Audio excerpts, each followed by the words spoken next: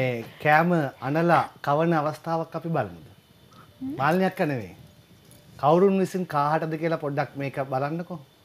Video එකක් තියෙනවා. ආ මේක දන්නවා මේක දන්නවා. අනේ පව්ය.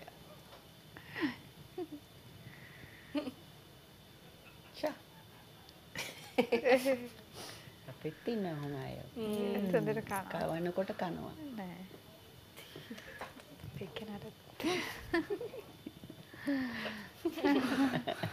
දැන් අද දෙවෙනි වතාවට විනු අඬවන්න පුළුවන් ඕන්න. එයා දැන් නෑ. නැති වුණා ළඟදී. ඔව්. එයා දැන් නැත්නම් හැම සැරේම වෙලා හදනවා කියලා.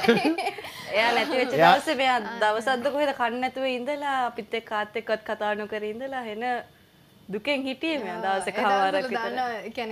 සෙනාලිමයිට වැඩිපුර එහෙට මෙහෙට ගිය දවස්සුත් තිබුණා. එයා ලෙඩ දවස්වල තමයි. එයා සාමාන්‍යයෙන් ලෙඩ වුණාම කෑම කන්නෙම නැහැ. හැබැයි මම කැවුවොත් කනවා අනිවාර්යෙන්. ඇස් දෙකේ කඳුල. ඉතින් එහෙම ගුලි ගීත් ගහලා- අහනවා එයා වෙනුවට හදාගන්න ගීත් ගන්න.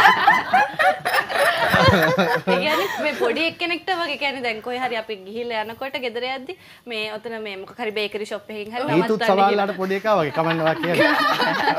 නවත්තන්න කියනවා මේ මොකද මේ අහනවා ඇයි ඇයි කියලා නෑ බල්ලට කෑම ගෙනියන්න ඕනේ කියලා කියන්නේ හොඳම කඩෙන් හොඳම දේ අරගෙන යන්න ඉස්තරම්ම දේ මෙයා පොඩි එකා වගේ තමයි බලන්නේ වේදා කවන දවසේ මේ අම්මා එතනට ඇවිල්ලා කියලා ගියාලු හැරලා කියලා ගියාලු.